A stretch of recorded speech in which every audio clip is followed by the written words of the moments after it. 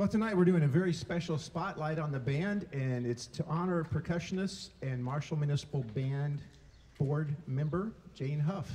She doesn't know we're doing this, but we're going to ask you to come all the way up here in the front, Jane, if you will.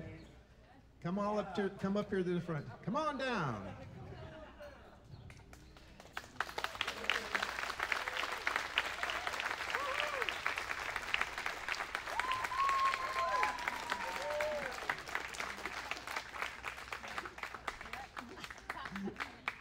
Jane has been in the band for 46 years and served as our script writer for over 25 years. She gave it up after last season, or this would be oddly self serving.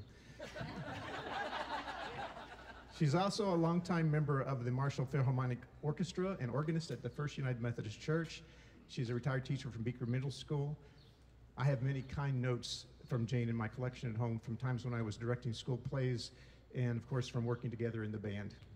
Jane is one of the kindest people I know, and our town is a better place for having her in it. Jane.